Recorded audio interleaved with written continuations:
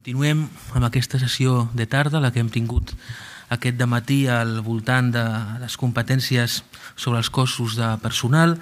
Aquesta tarda, com saben, ens centrarem més aviat en tres temes que moltes vegades quan, quan s'estudia eh, l'administració de justícia doncs tendeixen a, a quedar a vegades eh, poc tractats, no? de vegades poc tractats però que són realment molt importants perquè temes com ara l'organització de l'oficina judicial, que al cap i a la fi és el motor no? de, de cadascun dels uh, òrgans jurisdiccionals, o les relacions interadministratives en un àmbit tan fragmentat com el de la justícia, on intervé el Ministeri, intervé la comunitat autònoma, intervé el Consell General del Poder Judicial, la coordinació administrativa és vital, o, òbviament, eh, la modernització de l'administració de justícia que les comunitats autònomes competents, en la mesura eh, que les disponibilitats pressupostàries ho permeten, doncs estan duent a terme ja des de fa anys d'una manera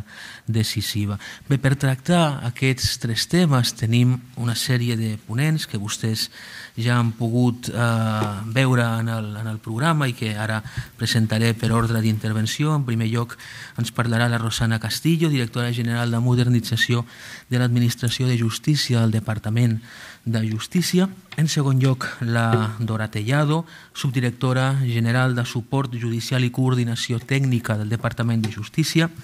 En tercer lloc, ens parlarà Jaume Herraiz, secretari coordinador provincial de Girona i lletrat de l'Administració de Justícia. Després, en Ramon Daví, vicedegà de l'il·lustre Col·legi de Procuradors dels Tribunals de Barcelona i, finalment, en Rodolfo Tessone, encara no ha arribat però està de camí, que és advocat i president de l'Associació d'Experts Nacionals de l'Advocacia en l'àmbit de les tecnologies de la informació i de la comunicació.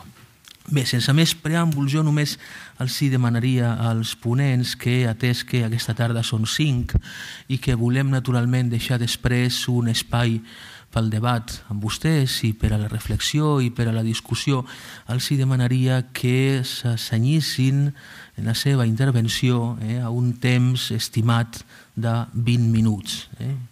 En tot cas, si deixen eh, alguna cosa en el tinter després, en el debat ja la podrem eh, tornar a, a recuperar o, o a agafar, eh? però jo crec que ara 20 minuts és un temps eh, prudencial eh, que jo els demanaria.